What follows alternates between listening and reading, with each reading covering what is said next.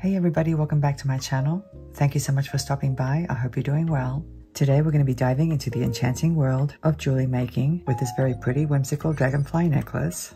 As you can see, it features a stunning patinaed dragonfly pendant, as well as some sparkly bicones and gemstone beads, all inspired by the beauty of nature.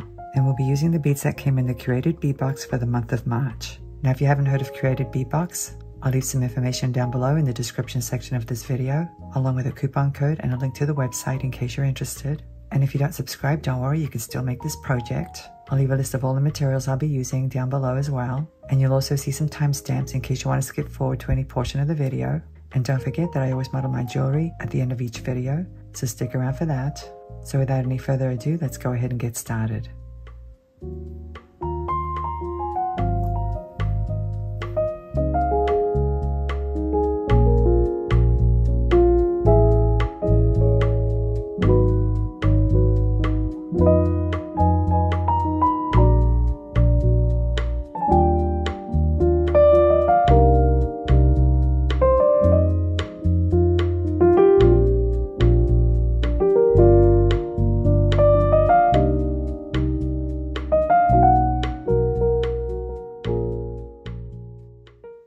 We have the curated bead box for the month of March 2024.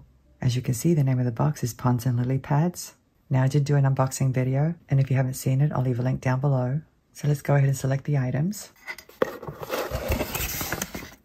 Now I've already been into this box, and I played around with the beads, but I wanted to show you how I came up with my design. I knew I wanted to use this beautiful pendant. As you can see, it has a patina. The pendant itself is gold, but it has that green patina and it's kind of a bluish green color. So that kind of helped me determine what beads to use.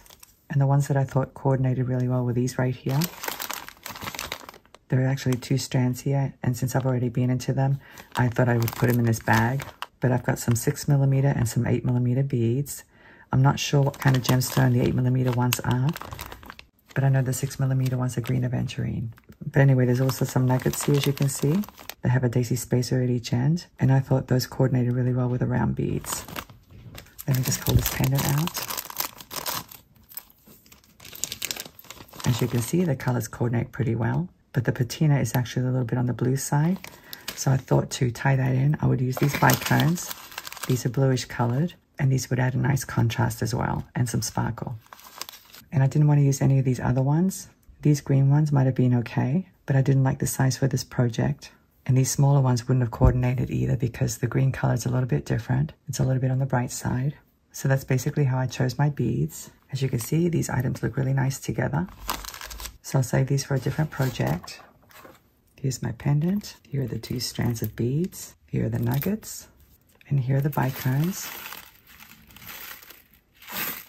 I thought this combination would work really well. Let me show you what else we'll be using today. We're going to be using some ball head pins and some craft wire.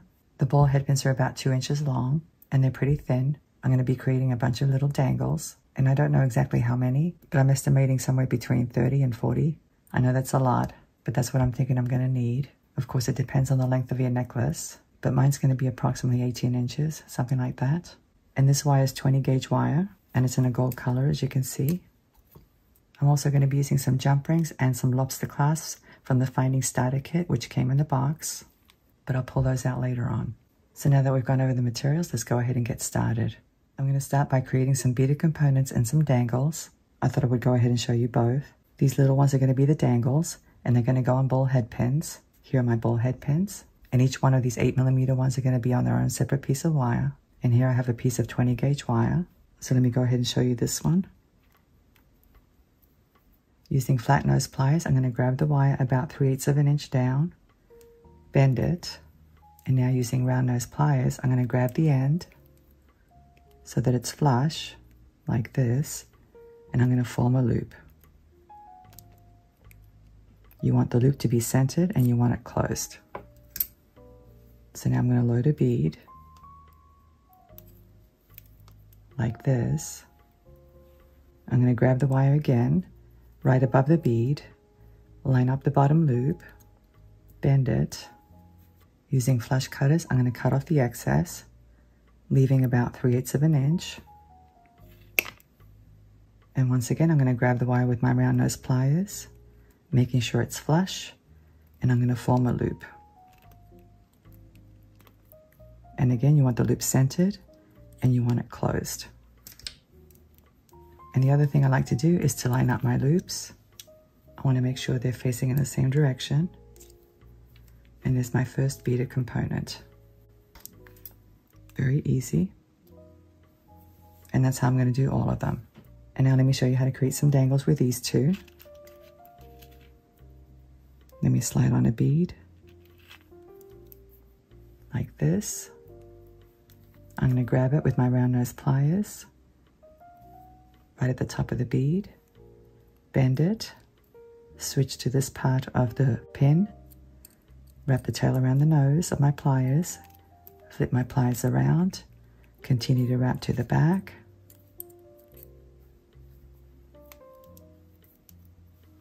I'm going to grab a loop with these pliers. These are actually crimping pliers, but I like to use them for this purpose because they grab really well and the tip is very skinny. And now using these needle nose pliers, I'm going to grab the end of the pin and create a couple of wraps.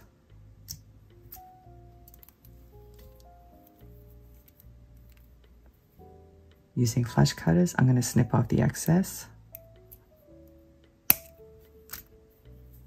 and tuck in the little sharp end if you see one. And there's my first dangle. Pretty simple. And I'm going to do these the same way. Let me go ahead and do one.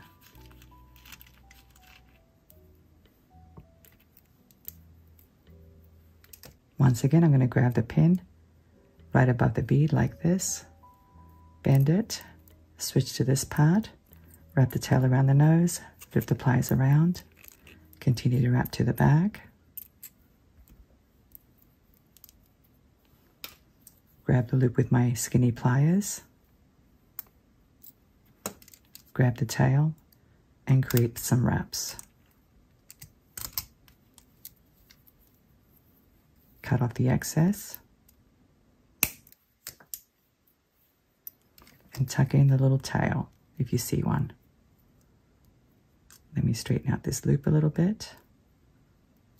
So there's that one. And that's basically it. That's how I'm going to prepare all of these. And I don't want to do all of them on camera because it would take too long. So I'm going to go ahead and do these off camera and then we'll come back and put the necklace together. So I'll see you in a few moments. Well, I'm back. And as you can see, I built my beaded components and dangles. Now I did have to redo the nuggets because they weren't mounted very well. The daisy spacers were very loose. So basically I removed the wire they were mounted on and used a fresh piece of 20 gauge wire. And I just did simple loops, just like I did on these. They're still a little bit loose because of the shape of the nuggets, but they're a little bit better than before. So you might want to do that with yours. So let me show you what I had in mind. I was thinking about putting the nuggets at the bottom like this. And then I'd follow it with some 8 millimeter beads. And in between, I'd put clusters of dangles. So this gives you some idea. And I wanted to put the nuggets down here because we only received four of them. Plus they're slightly bigger than the other beads. So the rest are going to be 8 millimeter beads.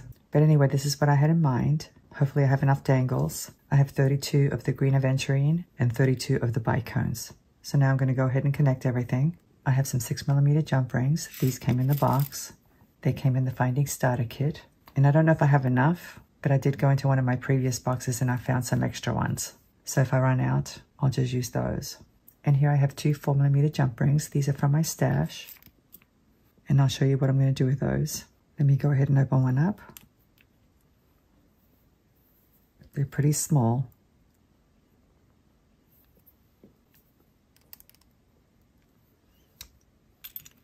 I'm going to connect it to the loop of the pendant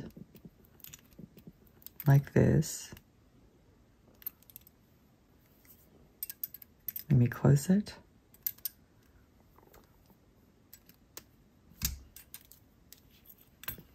And now let me open up this one.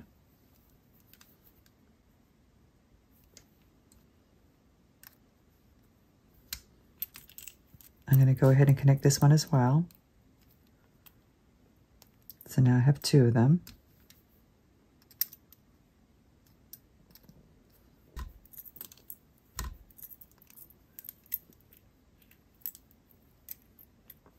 And the reason I have two is because I actually want to reduce the movement of the pendant which is really funny to me because usually I do the opposite. I try to connect things so there's a little bit of movement. But in this case, the pendant's so big, I didn't want it spinning around too much. So now I'm going to connect one of these six millimeter jump rings to these two smaller jump rings. Let me show you.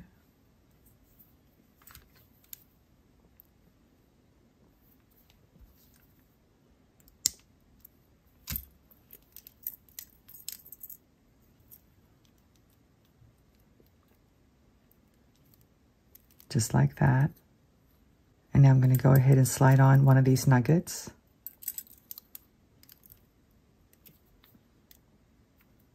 Let me go ahead and slide on another one. And close my jump ring.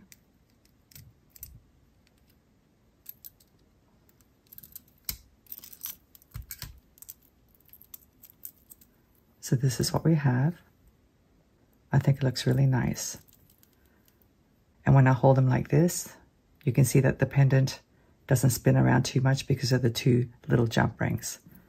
I hope that makes sense. So now I'm ready to connect some dangles. Let me go ahead and open up one of these jump rings. These jump rings are cut so well you can't see where the gap is, where the opening is. Let me open it up. I'm going to slide on this nugget like this. And now green aventurine and a bicone. Whoops.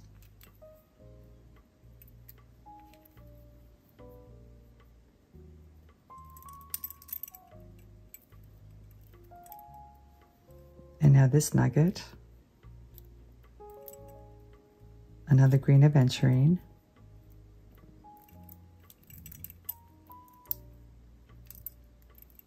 and a bicone. Hopefully I won't drop anything. And now let me close it carefully.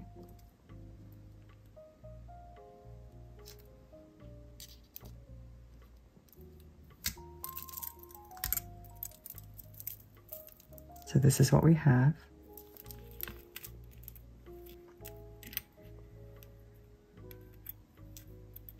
I think it looks super cute. Let me show you again.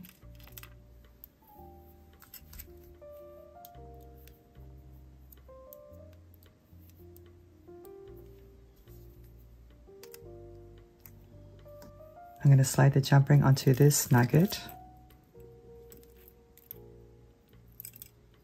Now green aventurine. And now bicone.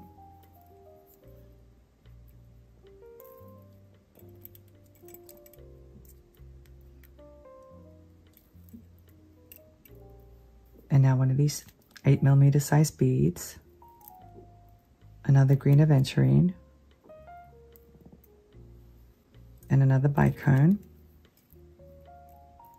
It is a little tricky doing this because you don't want to drop the dangles. There's not a whole lot of space there. Let me close up the jump ring. And these jump rings are really tough.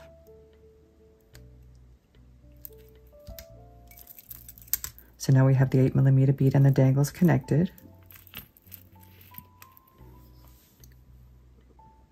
And I think you get the idea. Let me just do one more with you and then I will have to do the rest off camera because it'll take too long otherwise. Let me open up this jump ring.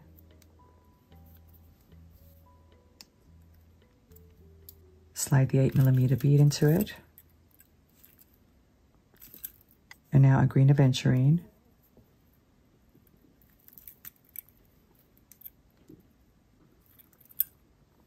and now bicone. And now this 8 millimeter bead.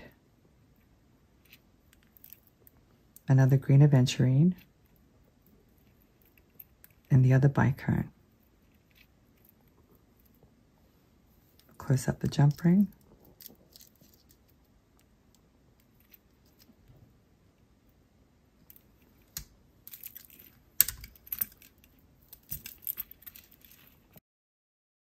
So that's what we have so far.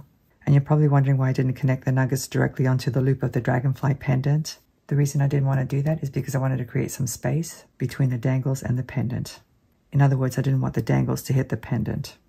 So anyway, guys, that's how I'm going to connect the entire necklace. I'm going to link these two nuggets, the 8 millimeter beads, with a cluster of dangles in between.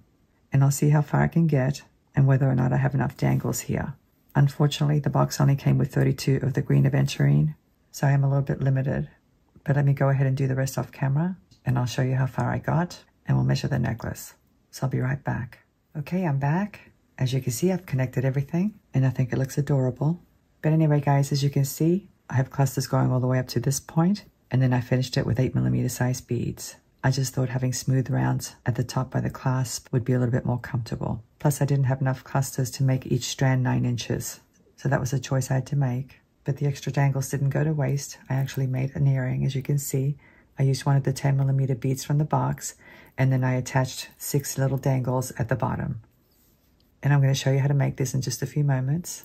So let me go over the details with you. I used a total of seven clusters, and each cluster has two bicones and two 6 millimeter green aventurine beads. Of course, I have the four nuggets at the bottom, and there's a total of 10 of the 8 millimeter size green gemstones. And I'm saying green gemstones because that's how it was listed on the box. The description didn't specify what kind of stone it is. And each strand measures 9 inches in length, so that gives you some idea if you're going to make a necklace like this for yourself. So now let's go ahead and attach the clasp. Here's a clasp and two 6 millimeter jump rings. They came in the box, and this is very easy to do. But I'm going to show you anyway because I know I have some beginners watching this tutorial. Let me open it up. Now this necklace does have a front and a back, so if you're right-handed, it's always best to attach the clasp on the right side. And of course, if you're left-handed, you would attach it on the left side, but ultimately it's personal preference. Let me go ahead and slide the clasp on. And now I'm going to attach it to this strand.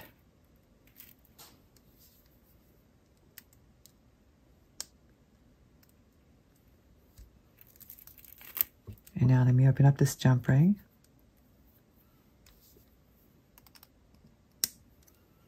And attach it to this strand.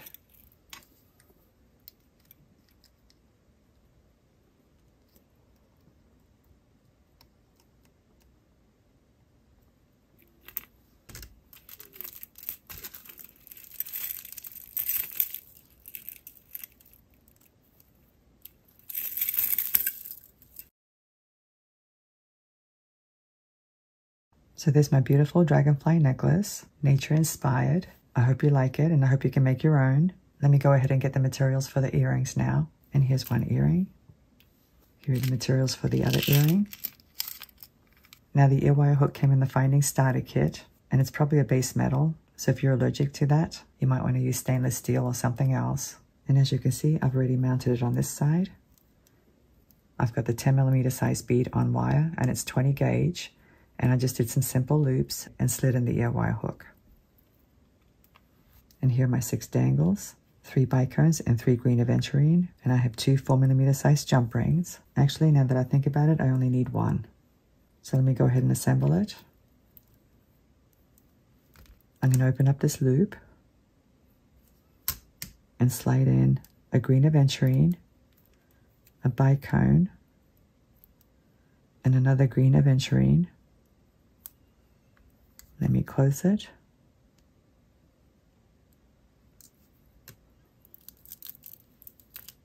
And now let me open up this jump ring.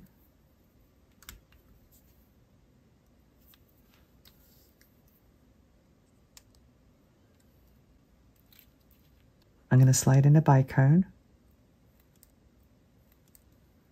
a green aventurine,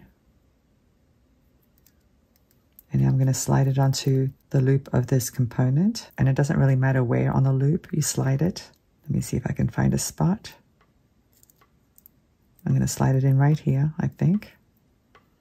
And now the bicone.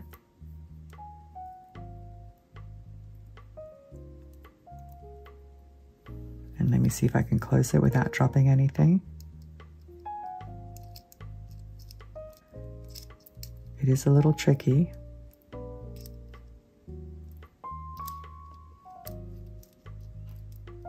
but I think I got it. So there's the earring. Isn't it adorable? I think it's super cute. So anyway, guys, hope you enjoyed this tutorial. As always, I'd like to go ahead and put this jewelry on for you. Thank you so much for watching. I'm looking forward to seeing you again. Have a great day and I'll see you next time. Bye.